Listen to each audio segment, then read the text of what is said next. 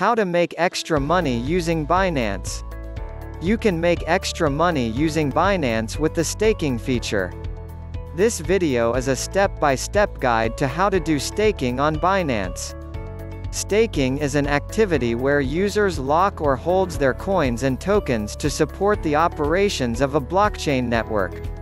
It is similar to crypto mining in the sense that it helps a network achieve consensus while rewarding users who participate.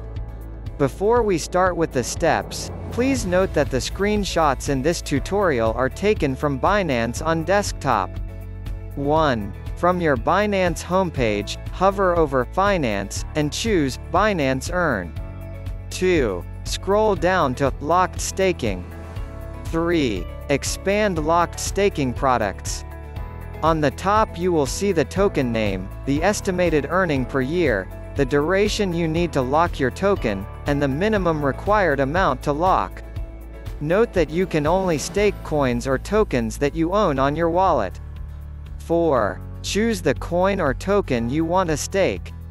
For example, Matic, decide on the locking period, and click on Stake Now.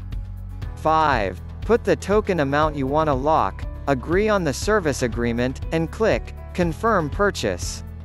Your chosen crypto is now locked for the period you chose, and the earned units will be added to your wallet every day.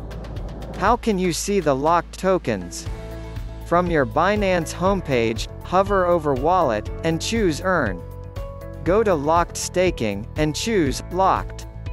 Then a list of your staked tokens will appear with all the details you need.